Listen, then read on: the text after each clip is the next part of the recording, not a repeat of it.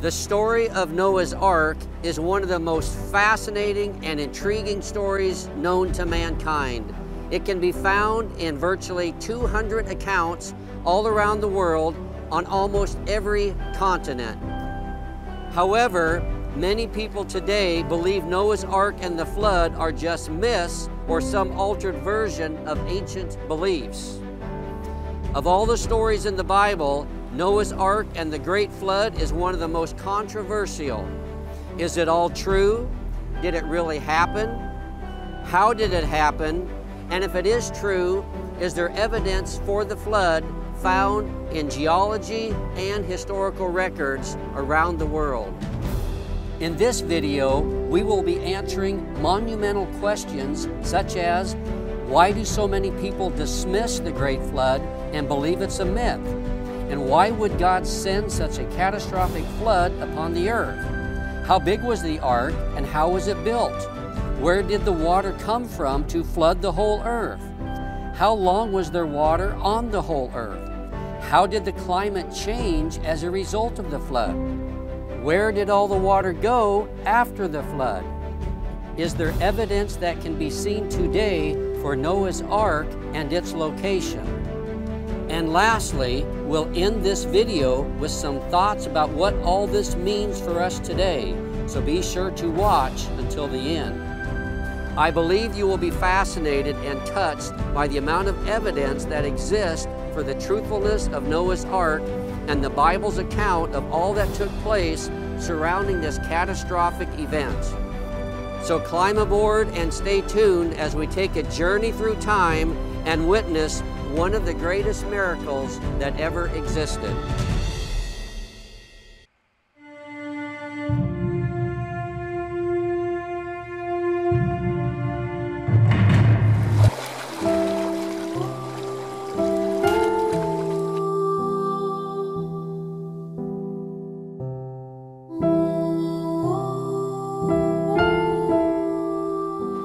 Now, is there worldwide historical evidence for the Great Flood? The Great Flood account is mentioned in writings or oral traditions found all around the world. In fact, as mentioned, it's referred to in around 200 accounts. These flood legends are common across a wide range of cultures, extending back to shortly after the flood accounts. These accounts depict a flood, sometimes global in scale, usually sent by a deity or deities to destroy civilization as an act of divine judgment. They are found on virtually every continent and share very similar themes. This is so because Noah's descendants stayed together until God confused their languages at the Tower of Babel, and they scattered as found in Genesis 11. As the various people groups spread around the globe, the story of the flood was so important and monumental that it was taken with them and shared. Over time, the Great Flood account became embedded in their respective histories and cultures. The oldest known written account of a global flood is the Babylonian epic of Gilgamesh from the 18th century BC. However, the most significant account of Noah and the great flood is found in the Bible in Genesis chapter 6 through 8. It's also mentioned 47 times throughout the Bible with references in nine different books such as Genesis, Chronicles, Isaiah, Ezekiel, Matthew, Luke, Hebrews, and 1st and 2nd Peter. This means Moses, Isaiah, Ezekiel, Jesus, the Apostle Peter, the writer of Hebrews, all attest to the truthfulness of this catastrophic event as being literal and real. What is very notable is the fact that Jesus referenced Noah and the flood five times in the gospel accounts. This is weighty evidence of the reality and truthfulness of Noah's ark and the great flood because Jesus referred to it as being a literal event, not some myth or fairy tale. Now, there is no other historical figure who has influenced the world more than Jesus. No one comes even close to comparing with him. So, if we don't believe Noah and the Great Flood were actually real events, we would be making Jesus out to be a liar or a lunatic. Now, why do so many people dismiss the Great Flood and believe it's a myth? The creation of the universe, along with Noah and the Great Flood, are some of the most attacked writings by critics. Why is this so? I believe it's because creation deals with the fact that we have a divine creator to whom we must give an account. Sinful humanity desires to be the Lord of their lives and refuses to submit to their Creator. In order to justify their sinful lifestyles, they attempt to eradicate their Creator so they can do as they please. This is the root source of evolution. It denies the existence of God and tries to explain the existence of the universe by time and random chance. However, everywhere we look, we see intelligent design, which attests to the existence of God. So just look around and notice everywhere you go and everything that you see, and you will see intelligent design everywhere.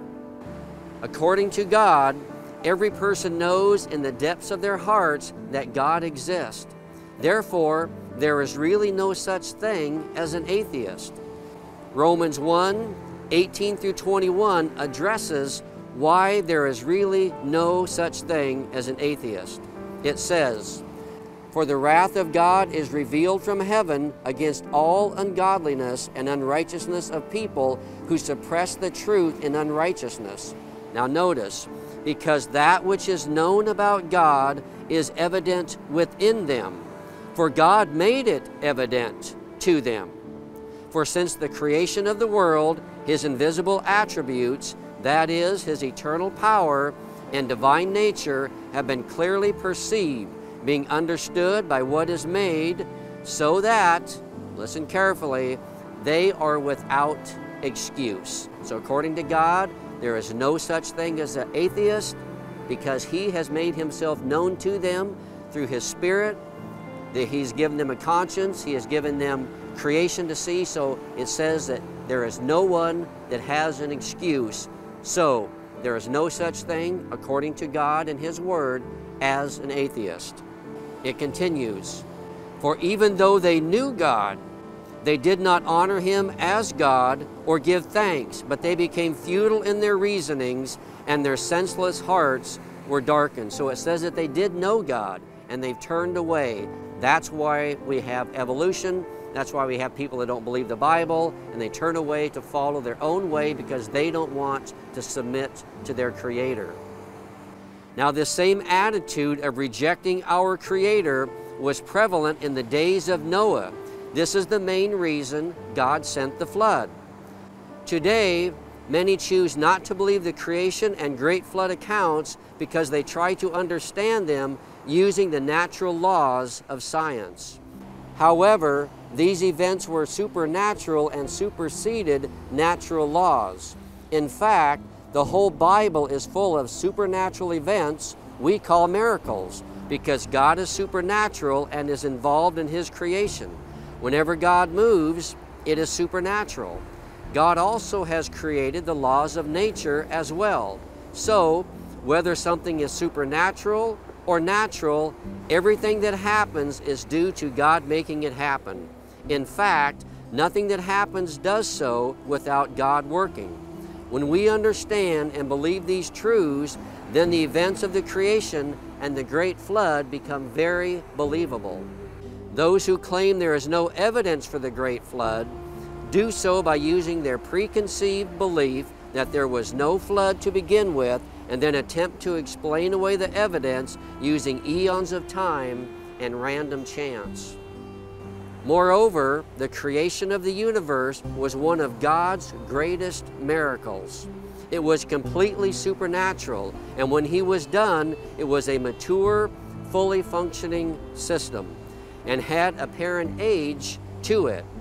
Adam and Eve were created mature, along with the animals and some plants for food for them. This was also the case with the stars. They had apparent age, and as mentioned, God's creation was mature and fully functional. It did not evolve over time. Other than the creation of the universe by God Almighty and the works of Christ, there was no greater miracle recorded in the Bible than the Great Flood. It was a catastrophic event that altered the terrain, climate, and makeup of the earth. It lasted for around a year and wiped out everything that had the breath of life in its nostrils except Noah, his family, and the animals on the ark. Now, why did God send such a catastrophic flood upon the earth? Genesis 6 5 through 8 tells us why. It says, Then the Lord saw that the wickedness of mankind was great on the earth and that every intent of the thoughts of their heart was only evil continually. So the Lord was sorry that he had made mankind on the earth, and he was grieved in his heart. Then the Lord said, I will wipe out mankind whom I have created from the face of the land, mankind and animals as well, and crawling things, and the birds of the sky, for I am sorry that I have made them. But Noah found favor in the eyes of the Lord. So God sent the flood because of the great wickedness of mankind upon the earth. The intent of their heart was only towards evil, except for Noah. He found favor in the eyes of the Lord. Now, did God give the wicked the opportunity to repent before the flood? In 2 Peter 2 5, Noah is referred to as a preacher of righteousness. This means Noah was a preacher who preached to the people of his day to repent and turn from their wickedness to God. However, like most people today, the people of Noah's day were too busy enjoying the pleasures of life and did not believe Noah or care that judgment was coming upon them. We don't know how long Noah preached to the people of his day, but it could easily have been from around 50 to 100 years. And for those who didn't directly hear Noah's preaching, they had a conscience given to them by God, God's laws written in their hearts, and God's Spirit convicting them of their wickedness, as it says in Romans chapter 2. How big was the ark, and how was it built? In Genesis 6 13, it says, Then God said to Noah, The end of humanity has come before me. For the earth is filled with violence because of people, and behold, I am about to destroy them with the earth. Make for yourself an ark of gopher wood. You shall make the ark with compartments and cover it inside and out with pitch. This is how you shall make it. The length of the ark shall be 300 cubits, or 515 feet, or 150 meters. Its width 50 cubits, or 86 feet, or 26 meters, and its height 30 cubits, or 62 feet, or 19 meters.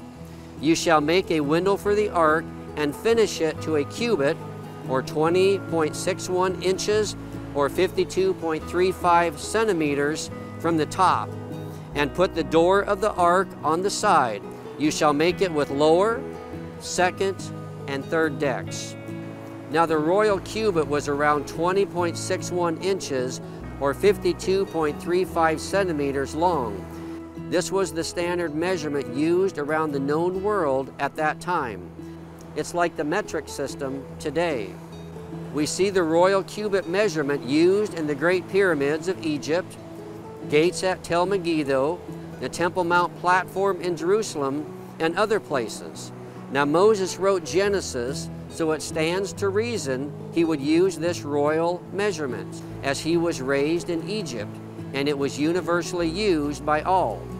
The old cubit measurement seems to be referred to as well in Scripture. 2 Chronicles 3 3 says, Now these are the foundations which Solomon laid for the building of the house. The length of the cubits, according to the old standard, was 60 cubits, and the width 20 cubits. The reference to the old cubit or the old standard seems to be speaking of the royal cubit. And it was used before the Israelites established a newer cubit that was a little shorter in length. Using the royal cubit, the ark would measure 515 feet or 150 meters long, 86 feet or 26.21 meters wide, and 52 feet or 15.70 meters high. Scripture also indicates the ark had three levels and many compartments for the animals. Now, what did God destroy by the great flood? Genesis 6:17 says, "Now behold, I myself am bringing the flood of water upon the earth to destroy all flesh in which there is the breath of life from under heaven. Everything that is on the earth shall perish." This would eliminate all humans and animals as they lived by breathing oxygen. The sea and water creatures were not destroyed in the flood. Now, what kind of animals did God save from the flood? There were two kinds or animal families God saved from the flood. The first type was regular animals. Genesis 6 18 says, But I will establish my covenant with you, and you shall enter the ark, you, your sons, your wife, and your sons' wives with you. And of every living thing of all flesh, you shall bring two of every kind into the ark, to keep them alive with you. They shall be male and female, of the birds according to their kind, and of the animals according to their kind, and of every crawling thing of the ground according to its kind. Two of every kind will come to you to keep them alive. As for you, take for yourself some of every food that is edible, and gather it to yourself and it shall be food for you and them. So Noah did these things according to everything that God had commanded him, so he did. A kind of animal is similar in meaning to a family of animals. A kind of animal or family of animals is very different than a species of animals.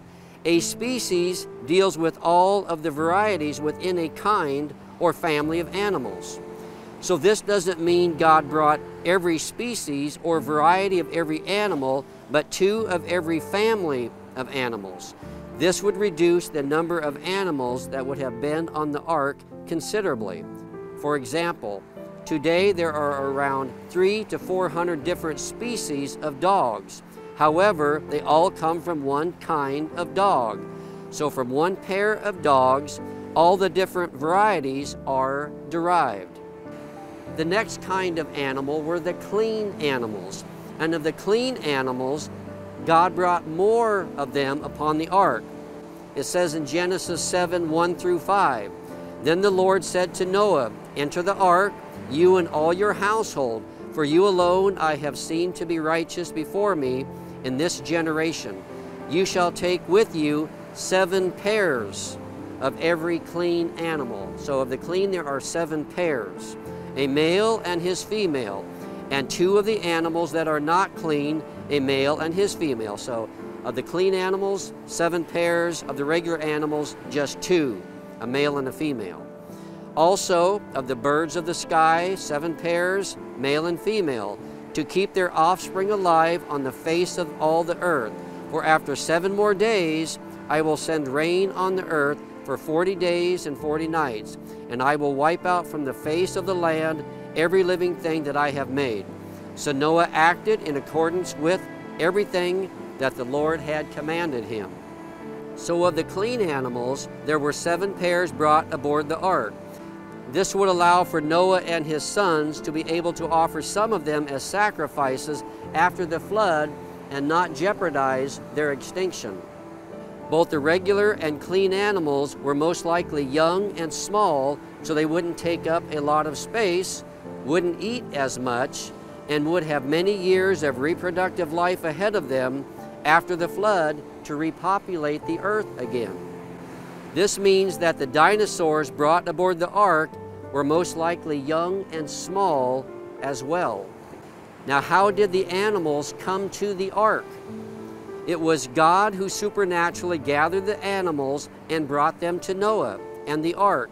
Genesis 6:20 says, "Of the birds according to their kind, and of the animals according to their kind, of every crawling thing on the ground according to its kind, two of every kind," it says, "will come to you to keep them alive."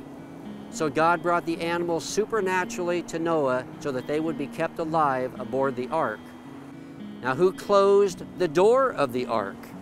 Genesis 7:15 tells us, so they went into the ark to Noah by twos of all flesh, in which there was the breath of life, those that entered, male and female of all flesh, entered as God had commanded him. And the Lord closed the door behind him. So it was God who supernaturally brought the animals to Noah. And then once they were all aboard, it was God who supernaturally closed the door of the ark. Now, when did the great flood begin? By the best records found in the Bible, the great flood took place around 2500 BC. Also, according to a literal interpretation of the Bible, God created the universe in about 4000 BC. This means the Great Flood took place about 1500 years after God created the universe. Now, where did the water come from to flood the whole earth? Genesis 7:11 says, "In the 600th year of Noah's life, in the second month, on the 17th day of the month, on that day all the fountains of the great deep burst open, and the floodgates of the sky were opened. The rain fell upon the earth for 40 days and 40 nights. This means that the water came from two sources, from the fountains of the deep and two from the floodgates of the sky. It appears the continental plates were shifted and the continents formed when the fountains of the deep opened and the water gushed out. It's also believed that the water canopy God created at creation came down upon the earth. Now, did the great flood cover the whole earth? Genesis 7 17 says, Then the great flood came upon the earth for 40 days, and the water increased and lifted up the ark, so that it rose above the earth. The water prevailed and increased greatly upon the earth, and the ark floated on the surface of the water. And the water prevailed more and more upon the earth, so that all the high mountains everywhere under the heavens were covered. The water prevailed 15 cubits, or 26 feet, or 8 meters, and the mountains were covered. And all flesh died that moved on the earth birds and cattle and beast and every creeping thing that creeps on the earth, and every man all in whose nostrils was the breath of the Spirit of life, all that was on the dry land died. So he wiped out every living thing that was upon the face of the land, from mankind to animals, to crawling things, and to the birds of the sky. And they were all wiped out from the earth, and only Noah was left, together with those that were with him in the ark. So Scripture is very clear that the flood covered the mountains everywhere. It uses references over and over again under the heavens, all, every. So the flood wasn't just local.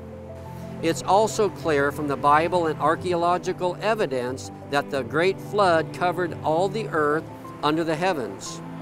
Now, for those who say the flood account was just a local event and not worldwide, which is a popular belief today, some just say it's a local event, they overlooked the fact that all people and animals not in the ark could have easily left the area of a local flood and migrated to higher ground. In so doing, they wouldn't have been destroyed, as Scripture says. Also, much more than just a local area of the earth was populated, so the flood had to be global to destroy all the other animals and humans upon the earth. Now, how long was there water upon the earth? And I think you're going to find this very fascinating how long the water was actually upon the earth. So we'll look at just a timeline looking at the days of how long the water was upon the earth. Now, it should be noted that Noah entered the ark seven days before the flood actually started. So that gave them time to get all accustomed to everything, get a system down. So they were there seven days, and then after that is when the flood began. So, day one, the flood begins in the 600th year of Noah's life, in the second month, on the 17th day of the month. The fountains of the great deep broke apart, and the windows of heaven were opened, and it began to rain as found in Genesis 7:11. So now we come to day 40. The massive deluge of rain ends after 40 days and nights in the third month on the 27th day of the month as found in Genesis 7:11 and Genesis 7:17. Now we come to day 150. The waters continue to prevail on the whole earth 110 days after the flood stops in the seventh month on the 17th day of the month as found in Genesis 7:24 and Genesis 8 4. And again on day 150, it says the waters begin to recede and the ark rests on the mountains of Ararat in the seventh month on the 17th day of the month as found in Genesis 7.24 and Genesis 8.4. Now scripture says that the ark rested upon the mountains of Ararat. Ararat was a territory originally called Urartu, Notice that the ark didn't rest upon Mount Ararat, but upon the mountains of Ararat. Now, when we look carefully at verses 4 and 5, they seem hard to understand. Genesis 8 4 says, Then in the seventh month, on the seventeenth day of the month, the ark rested upon the mountains of Ararat.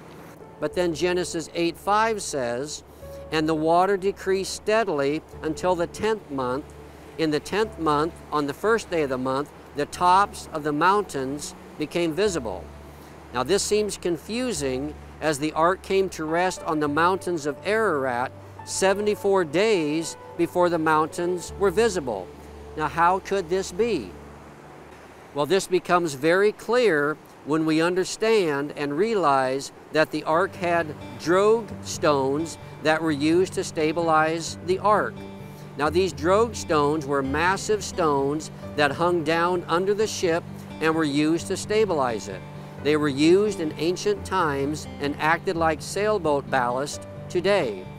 They created a drag in turbulent waters to prevent a ship from slipping sideways against the waves.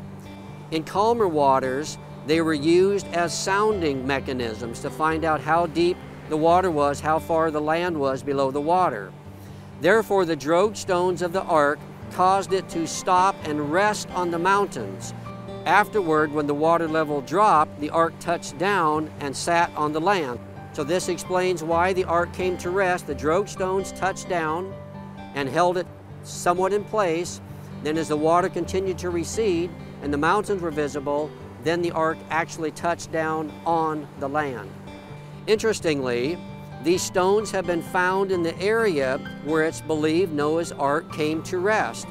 We will be looking at these drogue and anchor stones in more detail when we look at all the evidence for the location of Noah's Ark in eastern Turkey in the mountains of Ararat.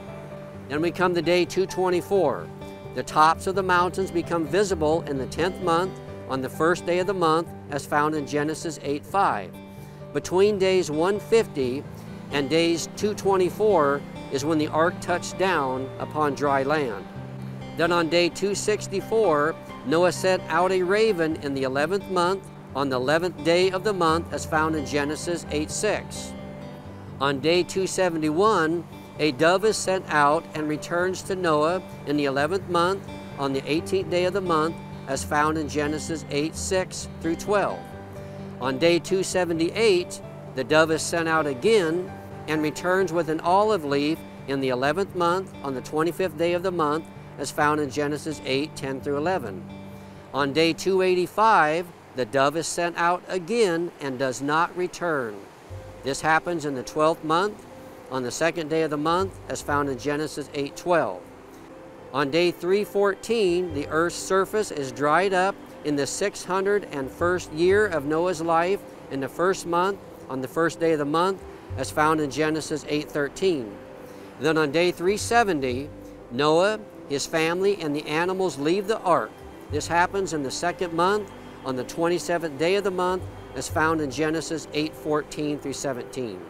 So taking all this time into account, the earth wasn't dry until 314 days after the flood.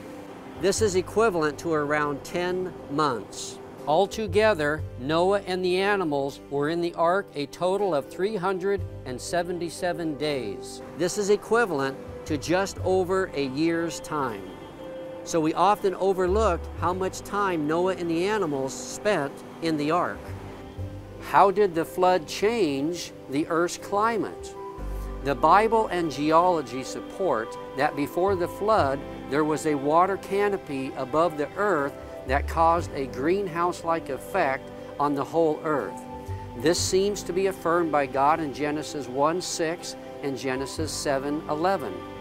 Genesis 1:6 says, Then God said, Let there be an expanse in the midst of the waters, and let it separate the waters from the waters. God made the expanse and separated the waters that were below the expanse from the waters that were above the expanse. And it was so. So we see from this that there was an expanse of water above the earth. It was like a greenhouse effect. And Genesis 7 11 and 12 says, The floodgates of the sky were opened, the rain fell upon the earth for 40 days and 40 nights. This is talking about the great deluge. So it appears that this canopy from above, which were the floodgates of the sky, were opened and came down upon the earth. Therefore, it appears that before the flood, the earth was like a huge greenhouse that was tropical in nature worldwide. This is why there has been found lush tropical vegetation evidence and tropical fossils at the northern and southern poles. When the flood occurred, the water canopy in the sky came down upon the earth, and the earth's climate was permanently changed because there was no longer a water canopy to protect the earth and keep the heat in. Rapid cooling took place at the northern and southern poles and the higher mountains. The earth was exposed to the upper atmosphere without a water canopy, causing instant freezing toward the northern and southern poles and the higher elevation mountains. This is evidenced and proven by animals being found frozen instantaneously in ice. And as mentioned, lush tropical vegetation evidence and tropical fossils at both the northern and southern poles and high mountains have been discovered. Now, where did all the water go after the flood? God says in Genesis 7:19 that the water prevailed more and more upon the earth so that all the high mountains everywhere under the heavens were covered. This means there were high mountains and all of them on the entire earth were covered with water. God also says that the great deluge of water lasted 40 days and nights. Then it says that the earth's surface dried up on day 314 after the original 40 days of the great deluge. So this means there was water on the earth for around 274 days after the flood waters stopped. Now, where did all this water go? We basically have four options.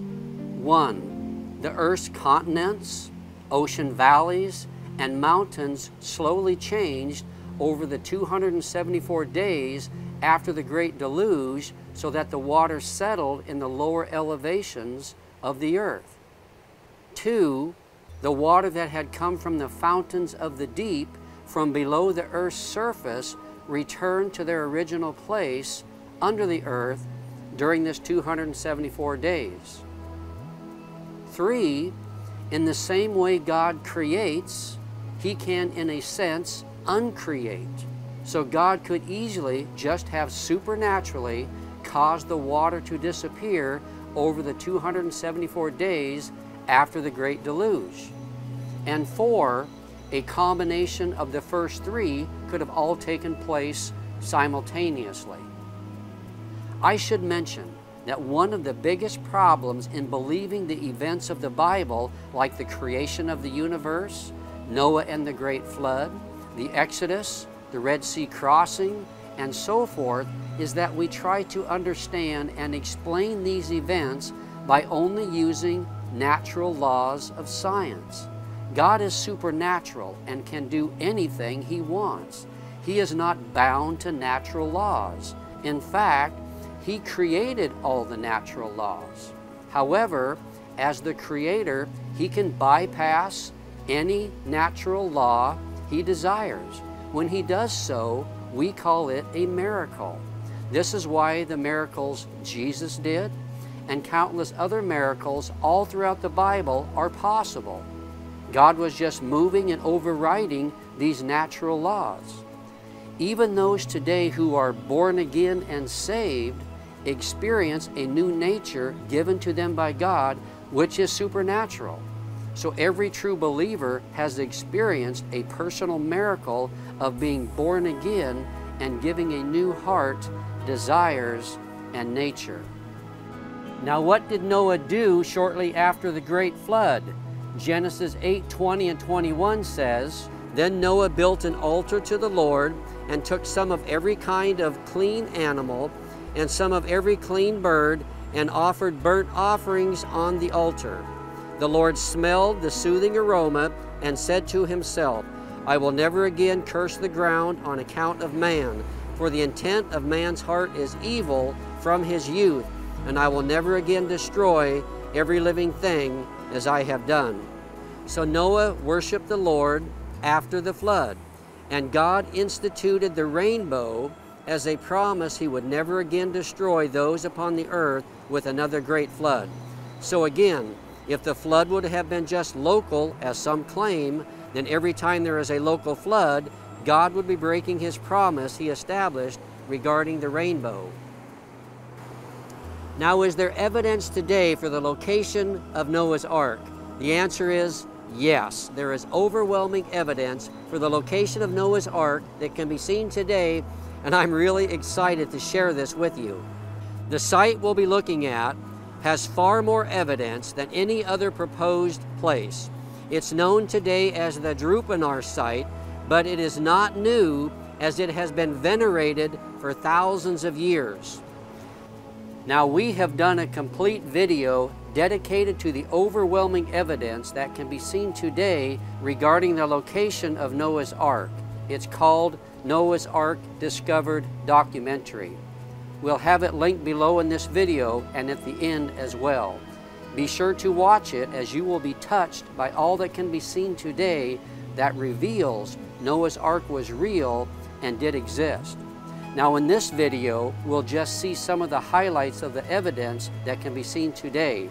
This consists of Noah's Ark National Park, which is located about 17 miles or 28 kilometers south of Mount Ararat about 260 miles or 450 kilometers west of the Caspian Sea and about 200 miles or 320 kilometers east of the Black Sea. Then we have the actual Noah's Ark boat location shape here. Noah's Ark Visitor Center, drogue and anchor stones, ancient stones with carvings, ancient relics and objects, carvings of the Tower of Babel, and carvings about what seems to be the different levels of the ark, Noah's home that is believed to have been discovered, Noah's altar and corrals, where Noah could have had animals and vineyards, the mountains of Ararat, Mount Ararat, a place called the Wall of Heaven, a place called the Crow Won't Land, a place called the Village of the Eight, where many of these drogue stones and anchor stones are located, a stele, an ostracon, and name locations that reveal the sites around Noah's Ark that have been here for centuries, if not millenniums. And historical eyewitness accounts dating back thousands of years who claim to have seen the remains of Noah's Ark. Again, be sure to watch our other video to see all the overwhelming evidence in detail for the existence and reality of Noah's Ark that can be seen today. Now let's look at some faith lessons we can learn from Noah's Ark.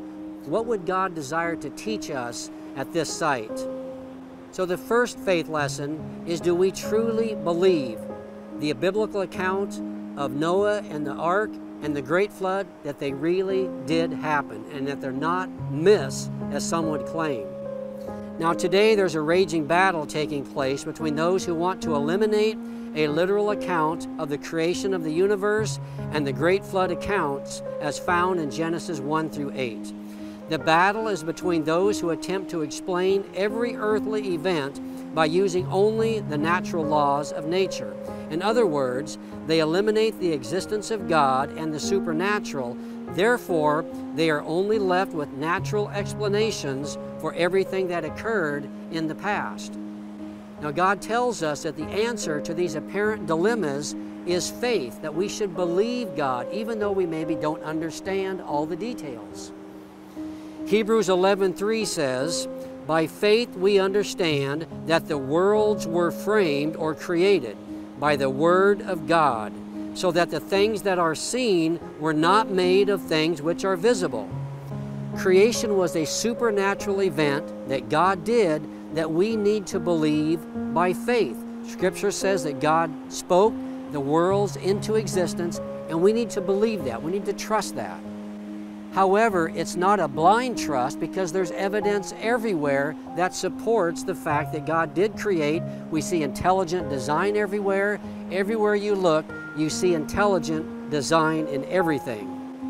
Additionally, God says that without faith, it is impossible to please God. Hebrews 11:6 says, "But without faith it is impossible to please him, for he who comes to God must believe that he is and that he is a rewarder of those who diligently seek him." Mankind's problem is that they trust in their own intelligence and beliefs rather than trusting God.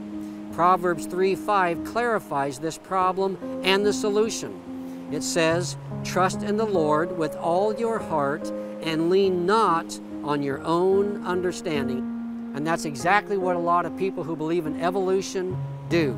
They first they don't want anything to do with God, so they eliminate God and they trust in their own understanding and they don't trust in God.